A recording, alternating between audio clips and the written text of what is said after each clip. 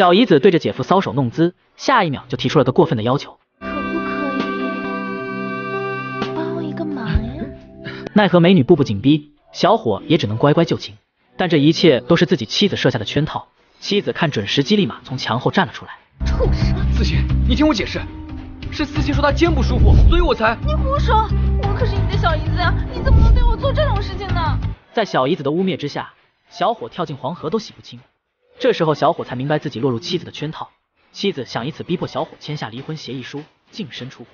面对着妻子的栽赃陷害，小伙无助的蹲在墙角。就在妻子和小姨子洋洋得意之时，爷爷走了进来。妻子和小姨子立马颠倒黑白。万万想不到，爷爷无条件相信小伙的人品。这一定是你俩搞的鬼吧？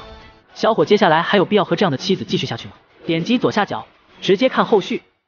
注意看，这个老人快死了，在场的医生都束手无策。这怎么回事？我也不知道，刚刚还好好的，怎么突然突然就这样了？就在众人都手忙脚乱之时，小伙子站了出来。给我五分钟时间，我保证让苏老爷子起死回生。如果他有任何意外，以命相抵。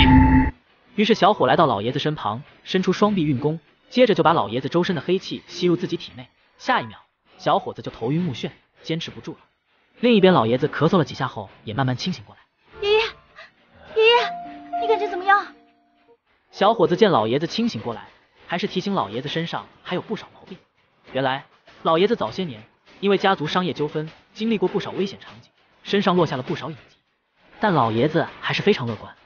生死有命，不必过分在意。不说了。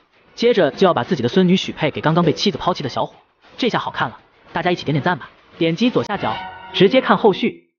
妻子为了和丈夫离婚，竟让小姨子陷害自己丈夫，想以此污蔑小伙背叛自己，逼迫小伙签下净身出户的离婚协议书。哇，这原来是你们姐妹的圈套啊！既然你已经知道了，那就赶快收拾东西走人。面对着来自最亲近人的栽赃陷害。小伙跳进黄河都洗不清，没想到第二天，妻子就把富二代带回了家。看着自己的妻子对着富二代搔首弄姿，小伙立马签字离婚。